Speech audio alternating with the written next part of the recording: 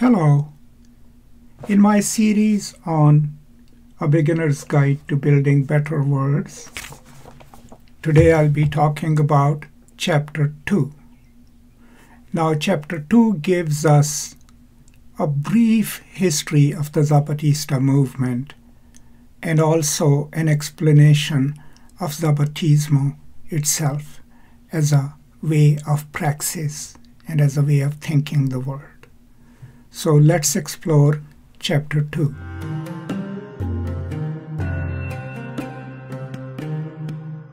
Now, the Zapatistas burst onto the international stage on January 1, 1994, the day NAFTA went into effect.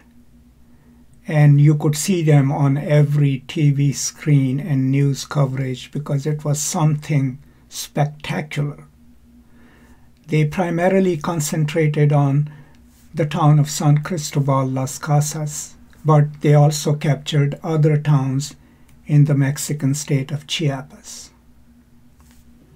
But according to the authors, that is not when the movement actually starts, but that's when Zapatistas, in a way, introduce themselves to the whole world. Now, according to the authors, the beginning of what becomes the Zapatista movement can be traced back to 1983, when three native and three mestizo males, urban, go to the Chiapas, go to the mountains to launch a guerrilla movement. Obviously, we can surmise from this that these men thought that they could go and teach revolutionary tactics and practice to the native Maya people. But to their surprise, they themselves learn from the native people and thus develops a relationship. I mean, the most prominent face of those intellectuals, of course, is Subcomandante Marcos. But the relationship develops in which the native people infuse the struggle with their own philosophies. This is what I see as a sort of what Deleuze imagines as a movement that is not centered at one place. Or also in Gramscian sense, the role of the organic intellectual, right, who goes and lives with the people we can also trace some kind of Freirean understanding of this relationship, you know, where the so called experts, intellectuals, go to the people and let the people teach them. But overall, the Zapatista movement is led by the native people. Their histories and cosmologies, and then these urban intellectuals who join them, along with the people, develop a mode of thinking and a mode of resistance to the neoliberal order. That's the sense you get in this introductory part. Now, please bear in mind that the authors have already informed us that they are not going to give us a clinical study of the Zapatista movement, nor are they going to give us an exhaustive history of the Zapatista movement, because there are plenty of materials available for that. What the project of this book is to learn from the Zapatista movement, to share with their permission what they have allowed the authors to share but to use the Zapatista movement as a loose diagram, so to speak, to develop our own modes of thinking and practice in the 21st century, wherever we are. So please keep that in mind. Now, the authors give us three phases of the Zapatista movement. Phase one was launched on January 1, 1994, when the Zapatista Army, EZLN, marches into the cities in Chiapas. That phase lasts only 12 days. The Mexican army is mobilized against the Zapatistas, and hundreds of people die in the process. But there was something peculiar about the Zapatistas when they come to the cities like San Cristobal. And you can see that response even in the 60 minute documentary that was done immediately after the events happened. And some of the government representatives will tell you that they could see that these were not some form of fundamentalist rebels. They had principles and they had genuine demands. So, in that first phase, what do the Zapatistas do? They confiscate the government records, especially land records, and destroy them because that is one mode of oppression used against the Maya people, giving lands to large landholders. But they do another thing that is absolutely genius. As they are capturing the city, they send a contingent to the local parish priest, to the Catholic priest and request him that the Zapatista army would like the archbishop, the Catholic archbishop, to mediate between them and the government, and that the church should request the government not to bomb San Cristobal. Now, that isn't just a brilliant strategy, it also shows that these guerrillas aren't only willing to fight, they also know how power works. What symbolic weight does the Catholic Church hold in Mexico? But also that the aim of every fight isn't just to continue destroying things, it is to reach the negotiation table, right? Classic von Clausewitz, right? The aim of a war is to bring your enemy to a favor, favorable negotiating situation. Then the church mediates and accords are signed, which are called the San Andres Accords, which the Zapatistas have respected, but the Mexican government has not fully implemented. But those 12 days can be considered the first phase of the Zapatista movement. Now, phase two starts when the government of Mexico does not implement the accords. And that is considered a rupture from the government and creation of autonomous Zapatista territories. These are loosely the territories in Chiapas that either the Zapatistas hold or have their own affiliated communities. One of the maps gives us roughly a porous boundary of the Zapatista territory, and the other map shows us the current municipalities of the Zapatista movement that are run and governed by the local councils. Now, phase three is still continuing and it involves developing relationships with the progressive part of Mexican society, but also internationalizing the Zapatista movement and their concerns. Now, the two stages, phase two and phase three, according to the authors, but also various other scholars, they overlap. Now, one thing to keep in mind is that this is a native led movement. What are some things peculiar about it? Is the gender equality, that the communities are friendly to gender identities, that there are no classes, no private ownership, collectivism, and a focus on building and strengthening their communities against the aggression of the Mexican state but also the private armies, the paramilitaries. Roughly speaking, the Zapatista territory is governed by the people, and each area has its own self government, which is rotated, and people elect their own leaders and people replace them, and no single leader speaks for the entire people. The decisions are made collectively. So, overall, then, the territories that I just shared with you are the territories that are governed by the Zapatistas, but they are governed democratically by the people themselves. Actually, if you look at the sign to the entrance of the Zapatista territory, it declares pretty clearly that you are entering the Zapatista territory. Here, the people rule and government obeys.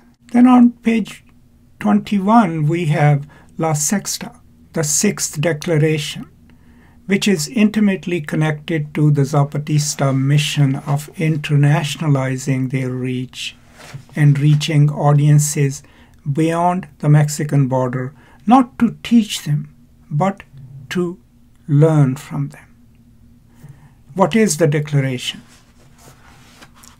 It says, to fight along with everyone who was humble and simple like ourselves, who was in great need and who suffered from exploitation and thievery by the rich and their bad government here in our Mexico and in other countries in the world. And so, based on this, the Zapatistas have launched since 2021 the Journey for Life, where the native contingent, mostly women, are traveling to various parts of the world one of the groups actually is, is in Europe, I think, right now,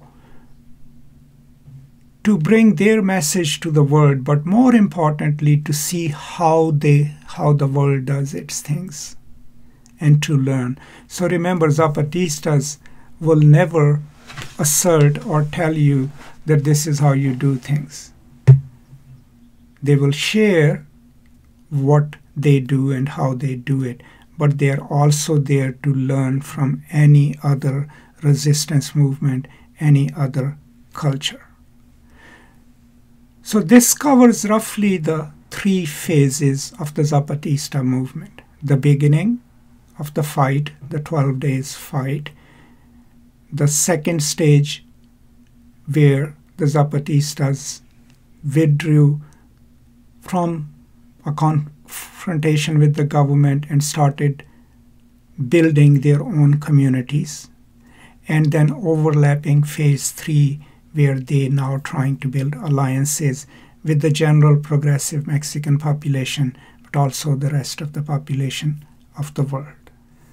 Now, on a side note, it's important to note that even though the Mexican government has not launched a massive campaign against the Zapatistas. There have been fights, there have been intrusions into the Zapatista territory, and Zapatistas also face violence from the paramilitaries, which are owned by wealthy people or wealthy landowners. Government also uses coercive measures, but also measures to buy out the native people by giving them grants and compensations. But the Zapatista response to that is not of revenge, but rather, these are our brothers and sisters. They have been forced to do this, but we still claim them as our own. And that's also where the Zapatistas are different from any other guerrilla movement because of this approach where they still see their brothers and sisters who are taking money from the government, not as their enemies, but rather people who might have been corrupted or coerced by a corrupt system. So they can look at power structurally and what it does to people.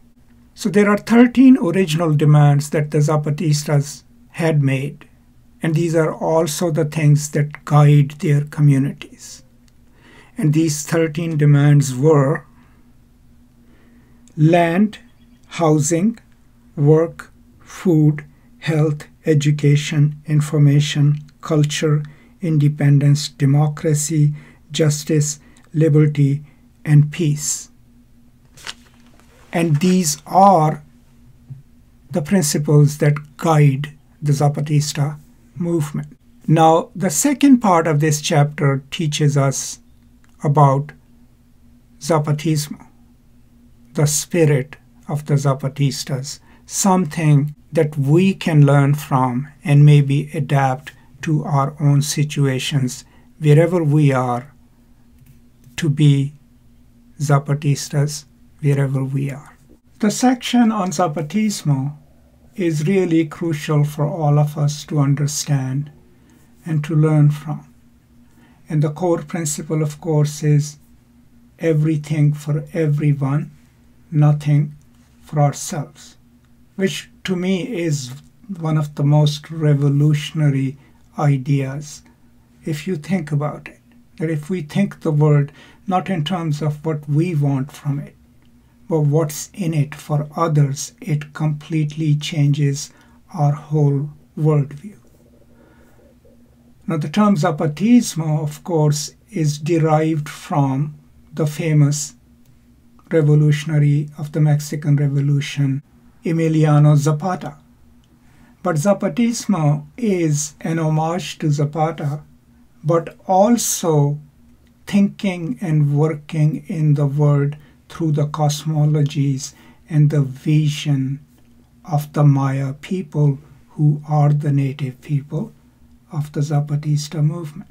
So it's a combination of an ideological figure or of an ideal revolutionary figure and practices and belief systems of the Maya culture itself, combining them together to constitute what is loosely termed the Zapatismo. Now, how do the authors define the term Zapatismo? They define Zapatismo as the diverse, unique, and dynamic ensemble of relational practices, principles, and core values the Zapatistas engender and share, which serve to recognize the dignity and interdependence of all, welcoming a plurality of responses to injustices of all forms. Okay, so what is clearly evident in this definition that it is a relational understanding of the world which acknowledges what kind of injustices exist in the world and then how to address them not from just an individual perspective, but from the perspective of all those whose lives are being impacted. Now, here are some of the principles of Zapatismo which the Zapatistas obviously practice and which we can talk about a little more. To be honest, I'm not going to read the Spanish part because I don't know Spanish and I do not want to be disrespectful and pronounce it, you know, in a terrible accent that I might have, right? So I will only read the English part of these principles.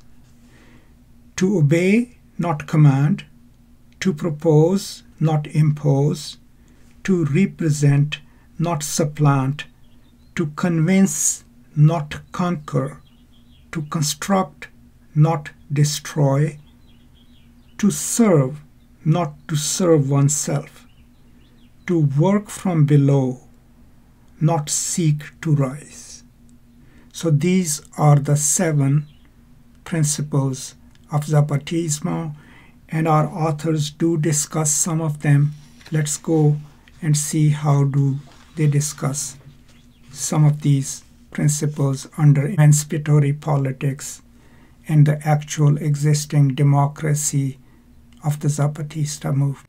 So the authors see Zapatismo as a combination of Maya way of thinking the world, the Maya cosmologies, some aspects of liberation theology, that also are infused with practices for women's rights, for gender identities, and generally speaking, a socialistic way of looking at the world. So it's a combination of all the philosophies that can create a space or a time in which what Freire would call it is full realization of human potential in a collectivity is possible.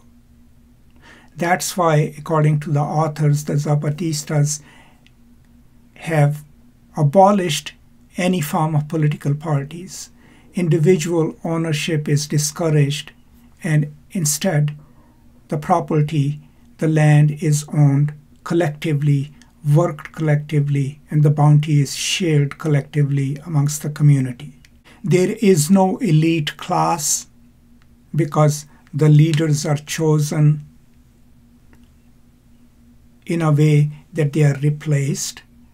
And so that makes sure that no hierarchy of class is created within the com- community. So, overall, what we learn then is that here are a people who have combined the knowledge of their own native cultures with some knowledge that comes from a progressive branch of Catholic Church, so to speak, you know, the liberation theologist, and some socialistic principles to create actually existing communities which are anti capitalist, not about accumulation of wealth or accumulation of power, which are fair to all genders and sexualities, and which are not racist.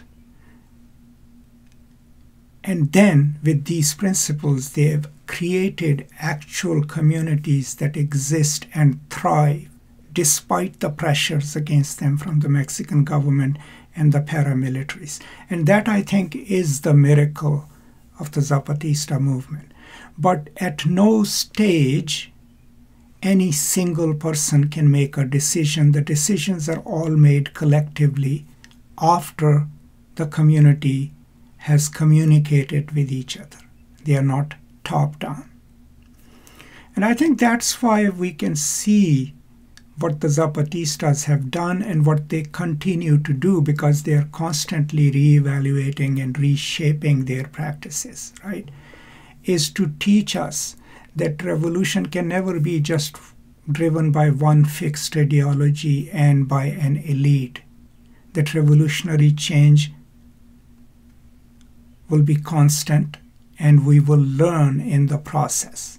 But it cannot be a practice which is oppressive in nature and which dictates to the people what they need to do. That is one important lesson that I draw from this chapter. So, in the last section of the chapter, the authors give us their understanding of a few ethical principles of the Zapatista movement. The first one is asking we walk. Now, what does it mean? I mean, what the authors explain to us is that it means that someone has the conviction to walk the path that they talk about, but also that the Zapatistas are sure that while they are struggling for something, their understanding of the struggle may not be absolute, it's not etched in stone. So, as they struggle, they are open to change and open to learning. Now, that is really a brilliant way of looking at any struggle. Because most of the times, if, if a struggle is deeply ideological, that ideology in a way will predetermine our actions and will not leave much room for change while we are struggling. But asking we walk basically means that we struggle, but in the process of doing that, we are open to learning. We have the humility to maybe alter our strategies after we have collectively thought about it. Another ethical principle that the authors discuss towards the end of the book is everything for everyone, nothing for us. So, I think the meaning is pretty clear, but when everything is for everyone in the community, within the Zapatista community, or within the global community, that rewrites our brains. I mean, think of our life in the Western world, but elsewhere too, wherever capitalism exists. We start with self, everything for me, right? And we become these subjects who constantly must arrogate to themselves whatever resources they can purchase or capture. But if we could reframe our way of looking at the world, everything for everyone and nothing for us, that writes then a kind of politics which is grounded in community and not in the self. So that's why in the Zapatista communities, obviously, resources are shared. Leaders don't own property. No one actually individually owns property because everything belongs to the community. And that means that my self interest is connected to the community. If I'm going to protect the fields, if I'm going to protect the hospital, the nursery, my own self interest is connected to the people, and hence it is protected itself because it's not separate, it's not sundered from the community.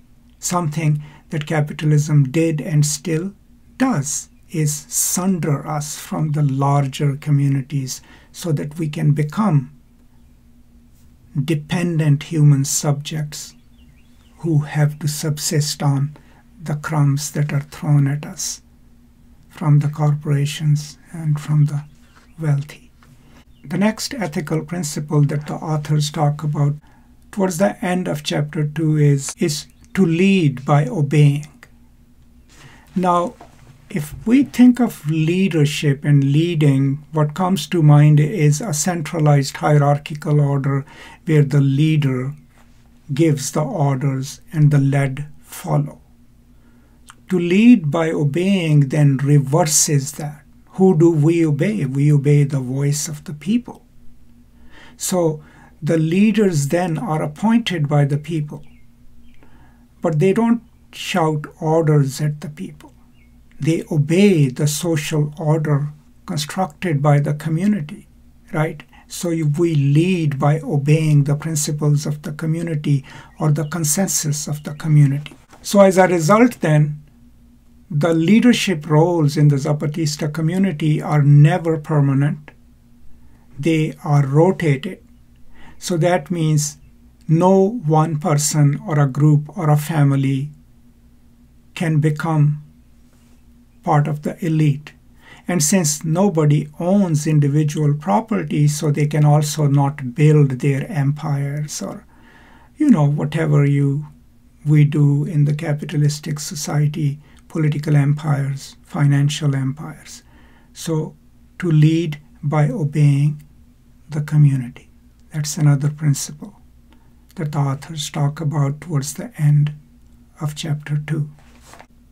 And the last one is slowly but advancing, which I think is sort of something that every revolutionary movement or group should internalize. Because the world in which we live, we want fast results. But what the Zapatistas teach us is that it's the slow movement, fortifying your communities, learning new things, changing your own practices, but consistent, slow work of building an alternative to the current order is what is important for advancing forward and not just rushing in that instrumental logic, right, where we are driven by results. The journey itself, slowly, methodically, must be accomplished with reflection, change, community, and collaboration. So slowly but advancing. Being slow in achieving our goals doesn't necessarily mean that we have failed. Now, all of these principles that the authors talk about towards the end of chapter 2, think about it. They are geared towards building community, sustaining a community, but each one of these principles is important in ridding our minds of the way we think within a capitalistic world. We think in terms of self interest. We think in terms of quick profits. We think in terms of having a political system. We think in terms of reaching our goals within a quarter, within a month, all of these fast paced activities.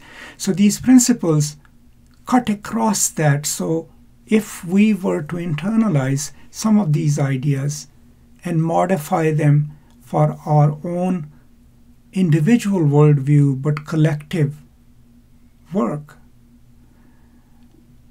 My understanding from this chapter is that then the Zapatistas give us a workable, work in progress, but workable praxis of developing a mode of life superior to the current neoliberal model superior to what is being sold to us as the ultimate mode of existence of property ownership, fast paced profits, exploitation as natural.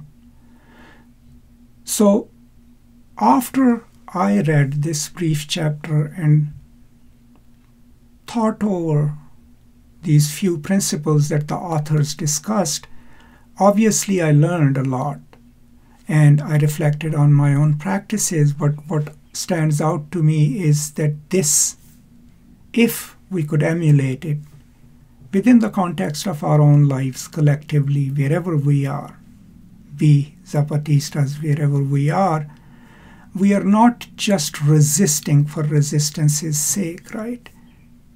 We are literally developing a mode of thinking and practice which has at its core the values shaped by the Maya knowledge, by the liberation theology, by the socialistic thinking, and by a kind of life loving humanistic thinking about the world, about the planet. A praxis that can be a viable praxis against the neoliberal political and economic order which is being offered to us as one and the only system. So that's what I gain from this chapter. So, to sum up, in this chapter, in the beginning, we get a brief history of the Zapatista movement. We learn about its core principles, the three phases of the Zapatista movement.